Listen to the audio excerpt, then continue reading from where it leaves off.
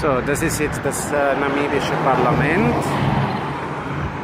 Hier kommen schon Leute in den Uniformen aus den Schulen.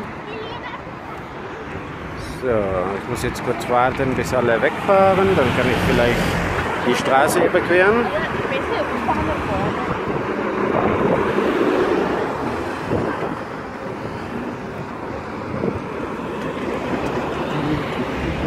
So, geschafft. Die Uniform ist echt gruselig. So, und das ist wie gesagt jetzt der namibische Parlament.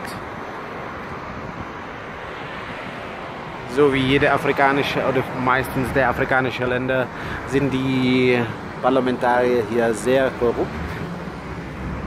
So, hier ist dann Sicht. Das ist jetzt die Kirche von Windhoek. Also ziemlich europäisch geprägt. Aber ansonsten hat wirklich Stadt nicht viel zu bieten. Also ist fast eher langweilig als äh, abenteuerlich. Um 17 Uhr ist hier alles zu, alle Geschäfte schließen. Also pff, und Menschenleere auf den Straßen.